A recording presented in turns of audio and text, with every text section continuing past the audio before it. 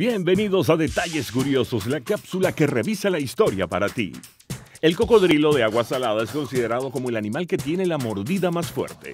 Pero las mordidas no se quedan solo en el reino animal. En el boxeo, Mike Tyson, durante una revancha, le mordió la oreja a Evander Holyfield, por lo que fue descalificado al instante. Y siguiendo en el fútbol con Luis Suárez, que ha mordido en tres ocasiones a tres futbolistas diferentes, Bacal, Ivanovic y Kalini, y como sanción en las tres oportunidades se le prohibió jugar partidos, lo que le impidió asistir a la Copa América 2015. Pero quien sí estará es el venezolano Juan Arango, que si de mordida se trata no se queda atrás, ya que mordió a Jesús Zavala en el hombro izquierdo.